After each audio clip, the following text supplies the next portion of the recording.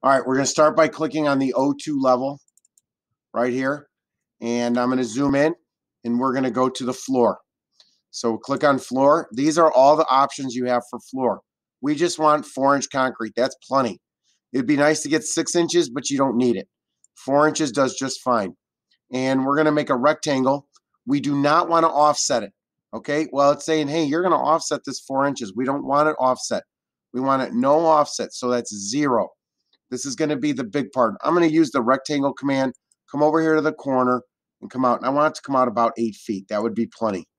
I did it wrong on purpose because I'm just going to click on the blue, make it, or click on the line, make it blue, move it in. There's our eight foot.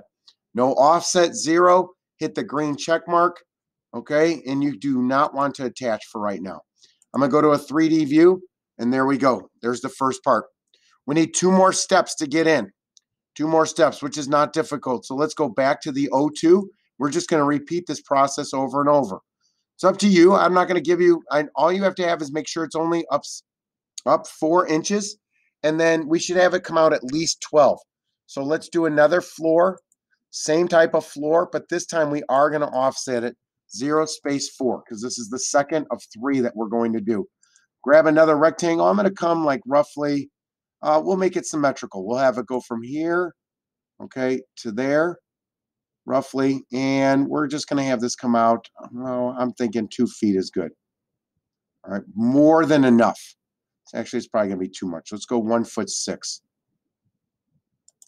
Okay, and um, that's actually looks like it is kind of off a little bit. So we'll move this over, try to get it the same. Okay, good enough for today. We should dimension that, but we're not going to. All right, click off, click off of there. Don't attach. Go to a 3D view. Now, this should have been offset 4. For some reason, it didn't offset 4. It's buried in there. So there, we're just going to move it up. So zero, four, We've got one last step. This is still too big of a step to get in the house. So we've got, you just, you're going to start to trip and fall. When you do one more and go back to the O2 level, and you really don't have to look at it every time. I'm just kind of been showing you. And we're going to do one more floor. This time I want to make sure that it does offset. Offset eight inches. Okay, it looks like it's stuck. And now we're just going to have a little step right here that goes on each side of the door. And I'm going to have that come out one foot. Click the check mark. Go to the 3D view. There you go. One, two, three. Now that I'm looking at that, this probably needs to come out a little bit more so we don't have enough room to put our foot there. So I'm going to click on edit. Like we do edit the roof, we're going to edit the boundary. And as I'm starting to look at that, I'm like, well, I should probably check to see how much that is. We'll just move it out two foot six. Okay. Click the check mark. You don't need to delete, never delete, always modify. And there we go. We've got three little steps coming up. This doesn't have to wait. It could be, we could do it a different way, but for here, we're just learning how to create steps using floors. All right, that looks pretty good.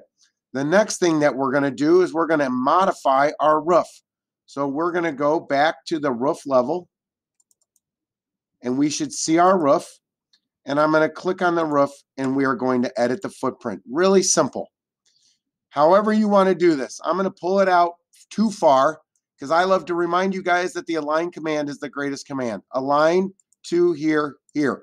However, you want to get to that point, I don't care. That's all you need to do. Remember in the options bar, we don't have this. This is the gable end. So we're going to hit the check mark and we got a beautiful gable. We've got this overhang. Okay. And that overhang is going to have to be supported by a column. So the only thing that we have to do now is go back and put some columns in. On yours, it's very difficult. You're going to have to really pay attention here. You need an architectural column. Your column, you don't have it like this. You have to click the down arrow and you have to click here, find architectural. You will not find what you're looking for in structural. All right, column architectural. I'm going to look at all these different beams. We could use a four by four would be great. I'm going to use a six by six and I'm just going to randomly place them over here because I love to demonstrate my favorite command, the align command. Align to here, this, align to here to this. If you get your lined up perfectly, great. Align to here to this, align to here to that. There. Oh, I missed it. Line to here, this. There we go. Go to a 3D view. We're about done. I'm going to click on here, just like we did to the walls, attach to the roof. But the only thing that happens is it doesn't give you a maximum intersection. So right down here, you say, hey, give me the maximum intersection, and it cuts it to fit. This one here, I'm going to click on this one here, column.